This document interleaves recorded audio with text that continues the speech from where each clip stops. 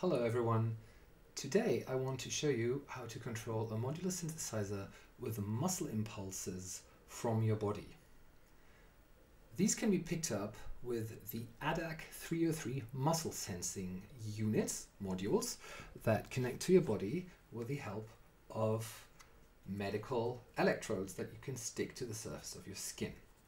So basically, this works just like my prosthesis works my prosthesis is controlled by muscle signals that electrodes that are built into the prosthesis pick up from my residual limb that are then used to open and control the prosthesis.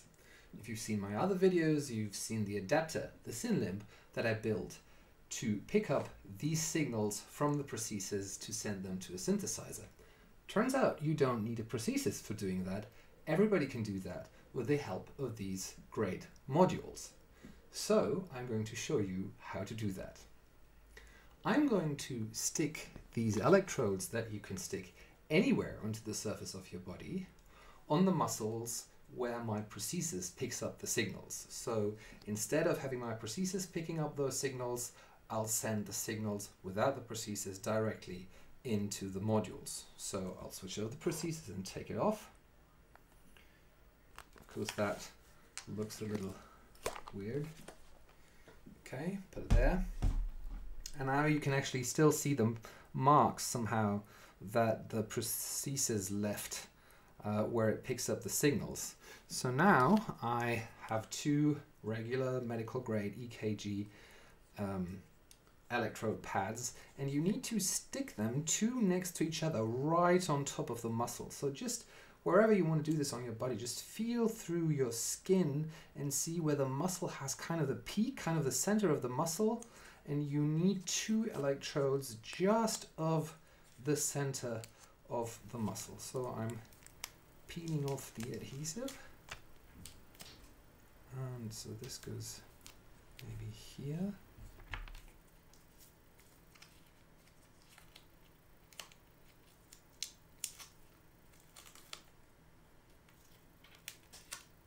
maybe here.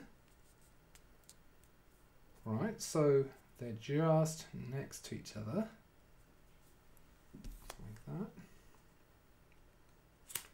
And then you need a third one that's placed somewhere off the others uh, that will serve as the reference point. So like a ground electrode, so just stick that somewhere where it's not in touch with the muscle that you want to use, like this. And now you take the electrode cable that comes from the module that has three connectors, black, red and blue. You stick the red and the blue one to the electrodes that actually sit on the muscle and the black one, you guessed it, to the reference electrode. And then the rest is calibration work on the module. Let me show you how that works. So here you can see two ADDAC 303 modules. We're only going to use the left one for the time being, and it's now connected to the electrodes that you just saw me sticking to my arm. The most tricky bit with this module is finding settings where it properly reads the electrode signal. Overall, the top bottom is the gain that controls the amplification of the electrode signal. But it's not that simple. Uh, this one is uh, the offset of the electrode signal. This is the threshold for the comparator that turns the CV that it takes from the muscle signal and turns it into a gate. And that gate, that's what they call the comparator, and that's being uh, sent out here. And this is the CV out, and this is the inverted CV out. Um, and here you have the ability to feed out the raw CV out or soften it with a bandpass filter slightly or uh, in a hard way. As I said, the most difficult part is finding settings of these two top buttons that result in the module picking up the electrode signal in a reliable way. When I first got the module, I always thought that if you crank this up fully, that it will give the strongest amplification of the electrode signal. Um, but it doesn't because at the moment I'm actually doing something with my arm and you see these two LEDs up here they're supposed to visualize the input from the electrode and nothing is happening and I found this quite frustrating. And only after some time I realized that it you need to find a sweet spot on the basis of the combination of the offset and the gain where it will work. And I've had quite good experiences with turning the offset all the way up relaxing the muscle, don't do anything. And then you turn the gain down until you see the top pair of the LED change like that. See? It now changes from left to right. That's the sweet spot that you need to find where it does this without you doing anything. And if you found this, just set it kind of somewhere ever so slightly that it's not blinking to the right one. And now if you flex the muscle, which is what I'm doing now, you should you should be getting something like this. And because I'm not smoothing the signal, the switch is in the center position. Um, it's the raw signal, so you can actually you can actually see it flickering a little bit, and you will get that in the CV. And probably uh, we don't want that, so it's a little bit better to set this switch to the softening position.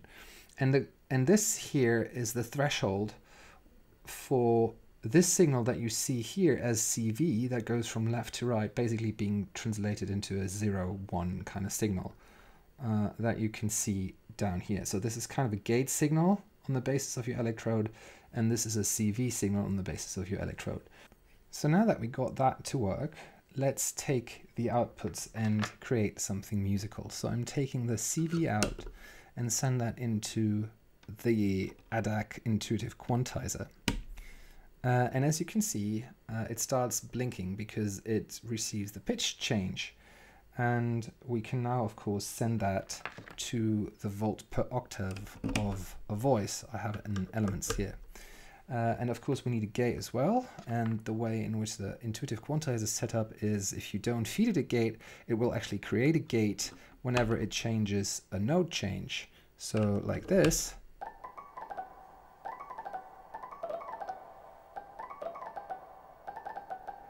you can create music with a muscle signal. And of course, you can use this for anything, for any kind of modulation in uh, your in your system. Combine it with something else. So, for example, uh, if we take the gate from just a square LFO like this,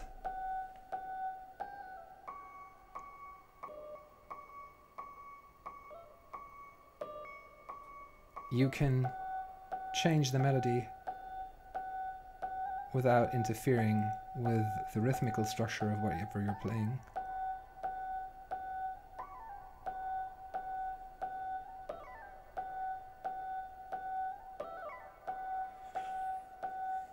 And of course, if you do that with several electrodes, take a second with another of these modules, for example, uh, the possibilities are really, really endless.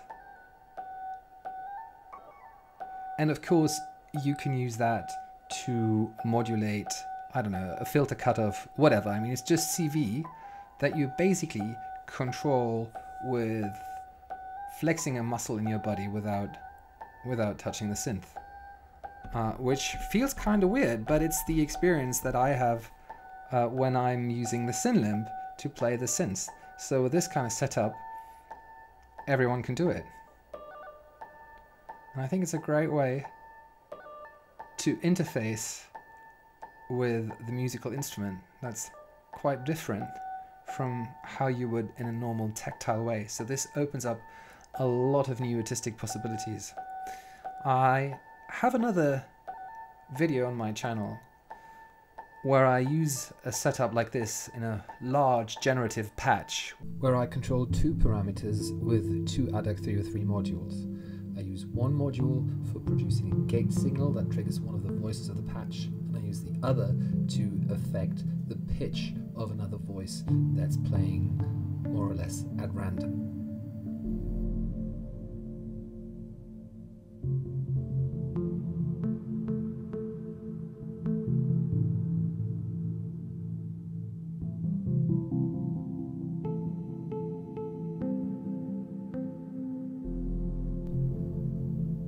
So here I'm controlling the synth without touching it, just through muscle impulses with the ADDAC 303 modules.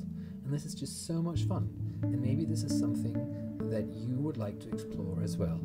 As I said, this opens so many new fun possibilities. Thank you very much for watching, and I hope to see you again soon.